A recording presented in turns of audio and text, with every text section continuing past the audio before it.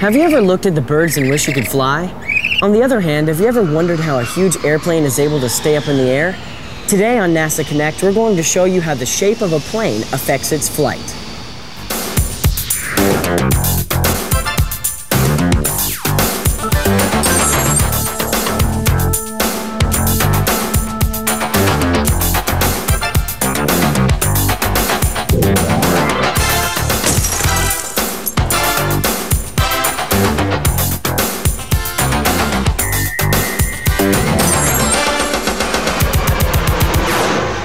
I'm Van Hughes.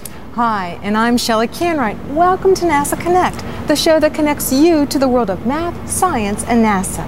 Right now, we're coming to you from the Smithsonian National Air and Space Museum located in Washington, D.C. And Shelley, this is the perfect location to talk about the shape of planes. Hey, that's right, Van. If there's one place where you can experience the entire story of flight, this is it. The National Air and Space Museum is home to 356 aircraft where collectively they reflect the science of flight. The museum is home to the first airplane developed by the Wright brothers. Notice how the propellers are in the back and the stabilizing wings are in the front. There's the Fokker T-2, the first plane to cross America coast to coast, and Charles Lindbergh's Spirit of St. Louis, the first airplane to fly non-stop across the Atlantic. Then there are other planes which pushed aircraft design even further. The Bell X-1 is a cross between a plane and a rocket. It was the first airplane to break the sound barrier.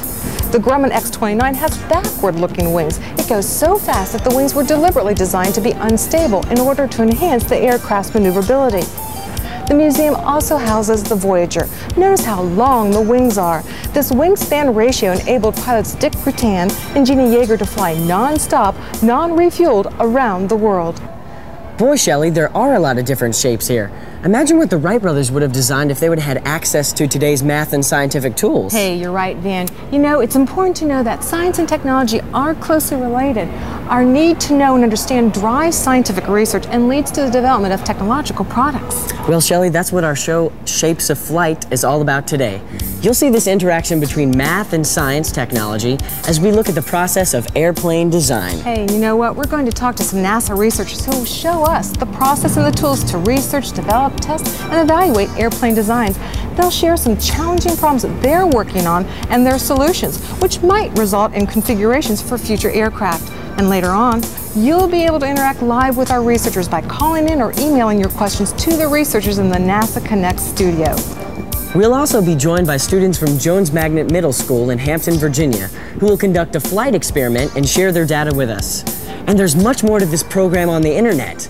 Whenever you see the NASA Connect website appear on the screen, that will be your clue to check out the site for more information, fun, and activities relating to our discussion.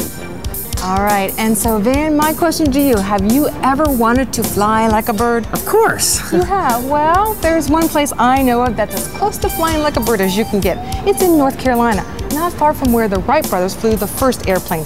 How would you like to go there and learn about the four forces of flight? Well, sure. All right, first up, can you name the four forces? Okay, we have drag, lift, weight, and thrust. Hey, that's right. Drag is a force which slows the forward movement of an airplane as it pushes through the air. Lift is created when the air pressure above a wing is less than the pressure below it. Thrust is created by a power source which gives an airplane forward motion. And weight is a force of gravity pulling an airplane down. Well, you can learn about these four forces in a real hands-on way, like by hang gliding. Interested? Well, how long will it take us to get there? Oh, about as fast as I can snap my fingers. You well, I'm, I'm all ready. Ready to go. all right then, gang. Well, I'm going to send Van on assignment to Jockey's Ridge State Park in Kitty Hawk, North Carolina to experience flight firsthand. In the meantime, I'm going to North Carolina also. I'm going to Dare County to talk with some experimental aviators who are pushing the envelope of flight just like our early aviation pioneers. Let's go. I'm here at the Rogallo Kite Festival here in Kitty Hawk, North Carolina. People from all over the world come here to fly their kites on the same sand dunes that the Wright brothers used to fly the very first airplane. Now, did you know that the Chinese were the first people to fly kites? Almost 3,000 years ago, the Chinese built kites out of silk and bamboo. For years, the kite has been thought of as a trivial toy, but history tells us that the kite is so much more than a toy. Throughout history, kites have been used by civil engineers to construct bridges, and perhaps most famously, by Ben Franklin to study electricity. Why even NASA has studied kites. Matter of fact, this kite festival is named for a famous NASA researcher and his work with the flexible wing. Mr. Francis Rogallo, known as the father of hang gliding, created the paraglider. That was one of the possible design solutions for returning a space capsule back to Earth. Mr. Rogallo is here today for this kite festival. He has given me some background on how a flexible wing works. Want to know more?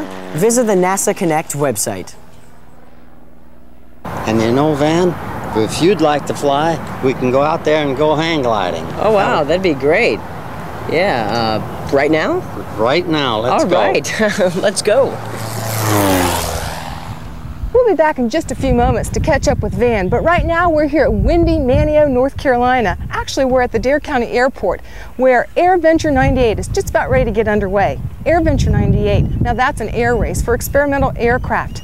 But not too far from here is Kitty Hawk, which is the site of the first historic powered air flight in 1903. The Wright brothers changed the world forever when Orville Wright went up into the air for the first successful heavier than air flight. This machine was just one step in a broad experimental program that began with a glider kite that they built in 1899. Not only did they build the first successful plane, but they built the first wind tunnel, and they had to find out for themselves the dynamics of lift, drag, weight, and thrust on a shape. Ever since the Wright brothers successfully tested their flying machine off the sand dunes of Kitty Hawk, we've seen a multitude of designers, builders, and inventors trying to take their machines to someplace faster, farther, and higher. Well, that's what Air Venture 98 is all about. It honors those people. They will set off right here from historic North Carolina and set sail across the skies to Oshkosh, Wisconsin, where they are set to kick off the largest experimental aircraft air show in North America, Oshkosh. Aviation enthusiasts annually gather in Oshkosh to witness firsthand new design concepts and technologies that could open up new vistas to the field of aeronautical engineering and to personal and commercial aircraft venues. AirVenture brings out many different personalities and many different extraordinary looking aircraft. Joining me right now is a very special personality, Hoot Gibson, who is a former astronaut, was a commander on four missions, and has flown over 60 different airplanes. And behind me you can see the airplane he's going to be racing in. How about giving us a little lowdown on this big plane? Well, Shelley, this airplane is a Hawker Sea Fury built by the British right after World War II. So, right in the late 40s and early 50s is when these airplanes started flying.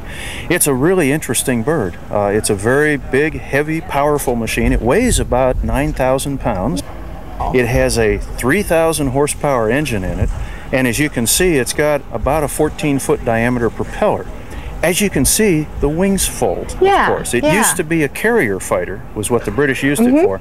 And you always want to minimize the size of the airplane when it's time to stow it away Oh. on the carrier. So you fold the wings and it takes up a lot less space. The, the wings actually cost you a little bit of weight because you've got to put in some mechanism to make the wings fold and to lock Mm-hmm. the wings because, of course, you want to lock them when they're down. You don't want them folding up by themselves, obviously. Yeah. Well, I have a final question for you. This is what I call a tortoise and hare question. Your plane certainly is bigger than any other airplane that's going to be in this air race. So, given that, which plane do you think is going to be your closest competitor in this race? I'm not even sure, Shelley, that we're going to win this race. We do have the biggest, most powerful, heaviest airplane out here, but it doesn't have any kind of guarantee that we're going to win. The other airplane that I think is real fast and maybe a real problem for us is the Lancair 4 with the hmm. Chevrolet V8 engine in it with the five bladed propeller. I think he's going to be very fast. Hmm. And he's going to fly a lot higher. He can be up in the 25 to 30,000 foot range we're going to be quite a bit lower. We're going to be down around 20,000 feet, somewhere around there. So he's going to be some real competition, I think, on this length of a race. So, there's a lot of variables in here that are going to enter into this race. They really are. So, stay tuned. We'll see who comes out ahead.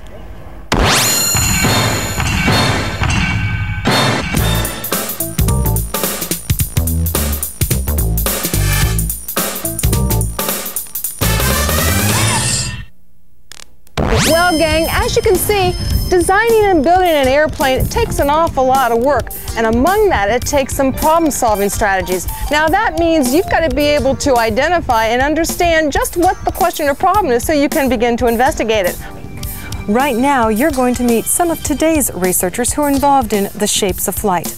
As you meet this research team, consider the role of mathematics and mathematical tools in scientific inquiry, the value of collaborations and teamwork in conducting research, and the engineering process and its application in everyday life.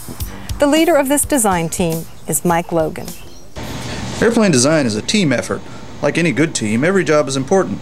As project engineer, it's my job to shepherd the aircraft through its stages in the life cycle. To define the problem, let's look at a current challenge. 20 years from now, NASA wants an airplane that will carry twice as many passengers as today's airliners and transport them to their destination at half the cost. That's a big challenge, especially when you consider that the airplanes of the future will have to be quieter, safer, more fuel efficient, and more environmentally friendly. The next step in the process, then, is to propose solutions. This is Paul Gelhausen. He's one of our designers on our team. Paul, why don't you talk about one of the solutions you're working on? Well, the solution that's up here is the blended wing body concept. It's a radically radical change from the 747 type airplane, which is a tube with wings.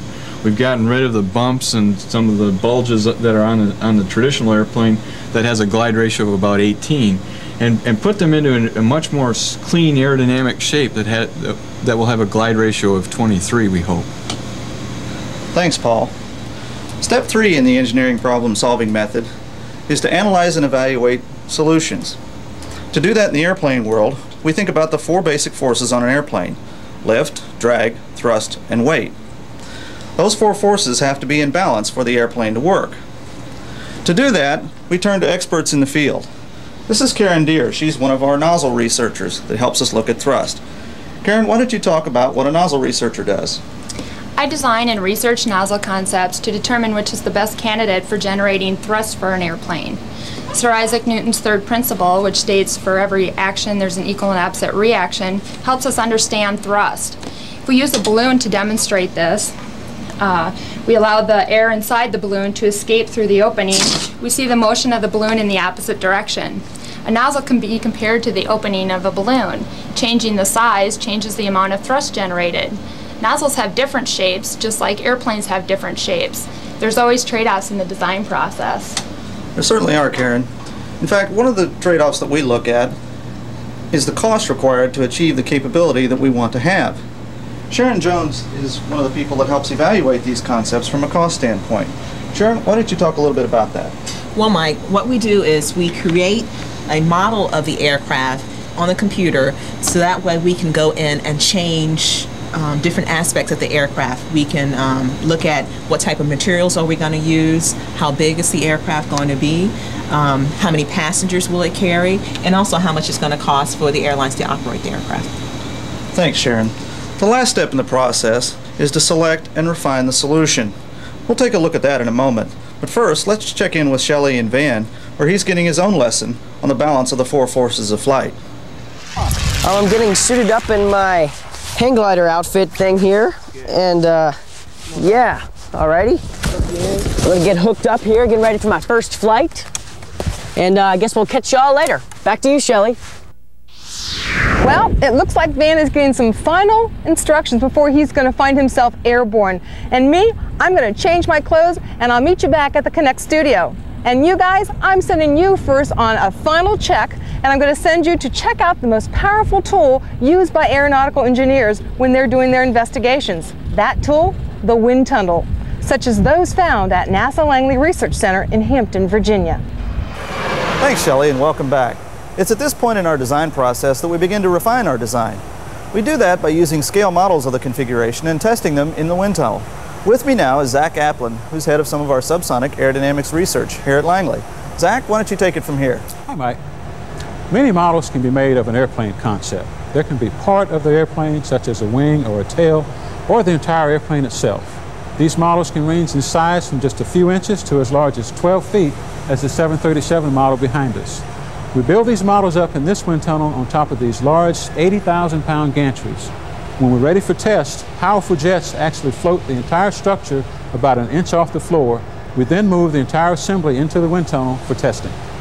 A wind tunnel is basically a giant tapered tube with a large fan in the circuit. The wind tunnel simulates the flow of air as it glides over the plane's surface.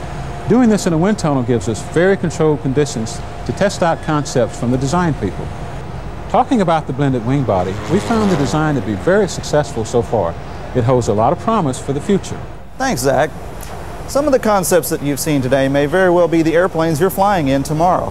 Math, science, engineering, teamwork, and problem solving are all important tools that have to be available for these airplanes to come into being for you in the future. Now back to you, Shelley. Wow. Let me tell you, that was a great trip visiting Hoot Gibson at the Dare County Airport in North Carolina. But you know, the variables of being outside in the wind and the rain can really get to you, and I'm glad to be back here in the Connect studio. Well, as Mike has said, it is today's students that will become NASA's future researchers. So let's go visit Jones Magnet Middle School in Hampton, Virginia, where students are investigating an aeronautical challenge involving surface area and glide ratio. Follow along. And when we come back, we'll look at the data collected by these students, and then you, my friends, will be challenged to make your own analysis and predictions based upon their results. Hi, we're students from Jones Magnet Middle School in Hampton, Virginia. We were asked to investigate the glide ratio for different model airplane designs to determine which design provides the best glide ratio. The glide ratio of a plane describes the forward distance flown per drop in altitude in the absence of power and wind. For example, a 3 to 1 ratio means that if you are one mile up, you better be within three miles of the airport. Miss Tomanek and Miss Barnwell, our science and math teachers, divided our class into four teams. The blue team, the red team, the yellow team, and the white team. Each team will fly a different design. To do our experiment, we use the following materials. Copier paper, we used different colors to identify each team. We also used glue, a meter stick, and a tape measure. Each team was asked to select one design from the four patterns provided to us by NASA Langley. The shapes included the egret, the flex, the basic square, and the condor. Each team constructs a different model and calculates the total area of the paper used in creating the model. Next, we figure how much of the total area is actually devoted to the airplane's wing. Now we're ready to run our flight test. For our baseline test, we decide to launch the airplanes at 2 and 2 tenths meters from the ground. This becomes the plane's flight altitude. Our four groups conduct 10 test flights from this flight altitude. We're careful to launch each flight test from the same altitude and to be as consistent as possible in the force used to launch the airplane. We then measure the distance the plane goes from launch point to where it first touches the ground. We take our data, order it from shortest to longest distances, and then calculate the median and the mean for the data. We are now ready to compute the glide ratios for the shortest distance, the longest distance, the median, and the mean. Using the formula, horizontal distance divided by the change in altitude, we're ready to answer the question, which of the glide ratios that you have computed is the best one to use in describing your plane's glide ratio? Well, talking about variables, it looks like two of our NASA researchers have now joined us in the studio, and they've brought some aircraft models to share with us. And talking about research, it's time to make you a part of our audience research team. Over the next several minutes, you'll be presented with several questions related to the data collected from our Jones Magnet Middle School students. Then after this segment, our NASA researchers, Mike Logan and Zach Applin, will be taking your phone calls and emails through the numbers indicated at the bottom of the screen. Okay, now look carefully at the data and working with your fellow students, answer the questions as read aloud by Zach Applin, who is the assistant head of the Subsonic Aerodynamics branch here at NASA Langley Research Center. Calculate the glide ratios for the shortest and longest distance flown.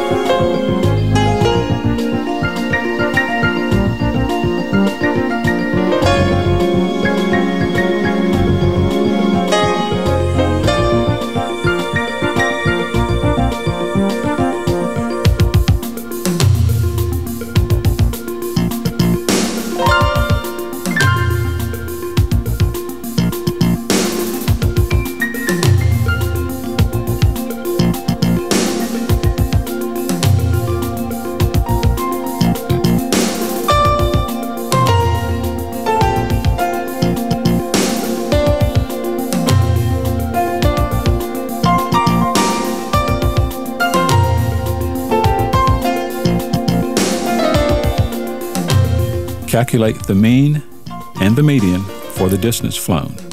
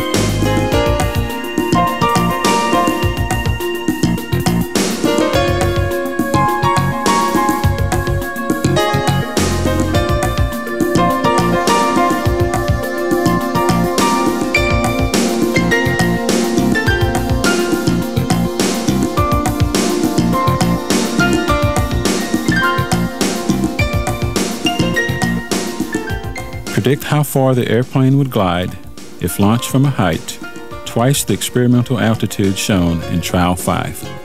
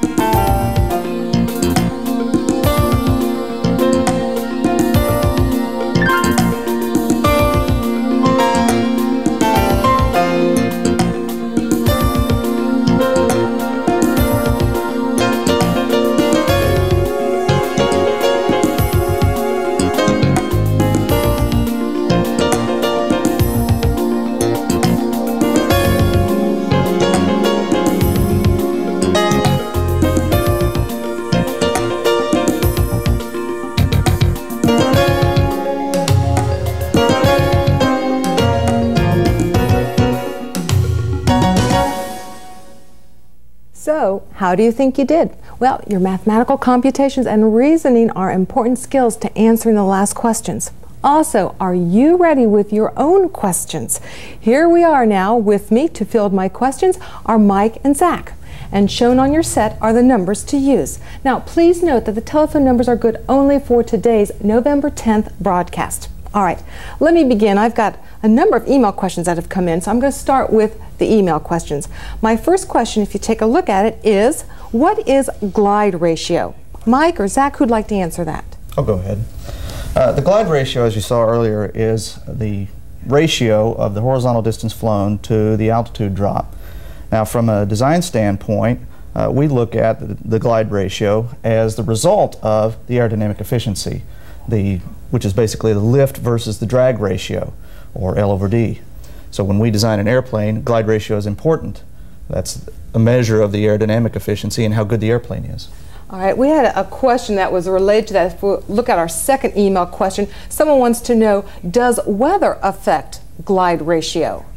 It certainly can. Uh, in fact, when you, uh, earlier you saw the wind and the rain, those are two factors that very heavily, in fact, impact the glide ratio. Uh, the more wind that you have and the higher the rainfall, the more likely you are to have not as good a glide ratio. Okay, so wind speed could be a, a, factor here then. All right. Well, I know that we have a caller out there, so caller, how about giving us your name, please, and your question? Go ahead, caller. Can you give us your name and your question? Michael Williams. I'd like to know. All right. I'd like to know how far could the first airplane that y'all showed go? If you could turn down your set and ask the question again, I think we would hear it a little bit more clearly. Could you repeat that again, please? That's the phone doing that. Okay. Could you ask the question one more time then, please? Okay. How far did the model go? How far did the model go? Are, are you referring to the student's model? Yeah. Well, you saw there on the, the data that they collected that it went, uh, they tried it 10 times, and we saw their data for five times, and you saw the distance for five of those flights. So your challenge is to go back and look at that data, and you could calculate the, the mean and the median for those five flights, and then you'll have that answer. Good question. All right. Well, let me go back to my email. Because I know I've got several questions that have come in here. Here's a question. How do researchers in designing an airplane decide what its wingspan should be? It's a good question, Shelley. Uh, it really depends on the aircraft mission. Uh, typically, transport aircraft have very long wingspans where they need high fuel efficiency. For fighter type aircraft, you typically have shorter spans. You require a lot more structural strength out of the airplane. Uh, so you typically have a short span on fighter type configurations. Okay. All right, we got another email question that's kind of related to this. All right, and maybe you've, you've answered this already. How important is the width of a wingspan in an airplane's performance? In a very simple sense, I guess the longer the span, typically the more fuel efficient an airplane, airplane configuration would be. Okay. So that's why you see long spans on uh, commercial transport airplanes. All right, well, I know we got another caller out there, so let's go ahead and go back to the phones. And caller, could you give us your name, please, and your question? Uh, yes, my name is Eric Morgan. I have a question for them. Mm-hmm. Um, my question is the little uh, perforated holes or the little holes in a golf ball that help break down uh, wind turbulence for the golf ball, will that help on a plane's wing to reduce drag? Oh, good question. Who wants to take that one? Mike, Zach? I, I can do that one. Uh, as you know, the, the little dimples on a golf ball helps change the drag of the golf ball by creating turbulence. Now, in fact, uh, there's a similar system that can be applied to transport configurations called hybrid, hybrid laminar flow control or in fact there's little holes that can either suck air in or blow air out that helps to create a smooth layer of air near the surface of the skin. That actually can reduce the drag of the airplane as much as 15 to 16 percent. All right, good question. Did you want to add something else? Yes, and actually a very similar application that's developed here at NASA Langley is a turbulent drag reduction in the form of, of what we call riblets, which are fairly rough surfaces along the airplane which actually reduce the overall drag of the wing. All right, well, that's about all the time we have. So I'd like to thank all the guests that contributed to this program, including Mike and Zach, Paul, Karen, and Sharon. I'd also like to thank Jones Magnet Middle School, Dare County Airport, AirVenture 98, and Hoot Gibson, who did win his race. And finally, the Smithsonian National Air and Space Museum. Just a final reminder to check out the Shapes of Flight website where you will see, hear, and learn more about today's topic. Also, we invite you to camp out with like-minded students in our special virtual aeronautics camp. No sleeping bags required, just some creativity and mathematics and science know-how. Videotape copies of this show along with the lesson plan may be obtained from NASA Central Operation of Resources for Educators or CORE. And now, back to Van for his final ascent into the air. I'm Shelley Canright for NASA Connect. Thanks for joining us. We'd like to give a special thanks to Kitty Hawk Kites for letting us use the hang glider and uh, Dr. Rogallo for appearing on our show. So connect with us next time when we connect you to math, science, and NASA. I'm Van Hughes. See you later. That looks good right there. Up a little higher. Up, up, up, up, up. Right there. Stay loose with your hands. And look ahead. Clear. Walk. Look ahead. Now run like that. Faster. Faster. Just let it faster. Faster. And just let it go. Let go. Let go. Pull in one inch. Right there. Perfect. Push it. Over. There. Right there. Cool. Keep it out. Keep it out. Hold it out. Yeah. Woo. You got it, man. Yeah. yeah. Set it down. What do you think? I did it. How did you do, Doc? I love it. It's the best sport in the world.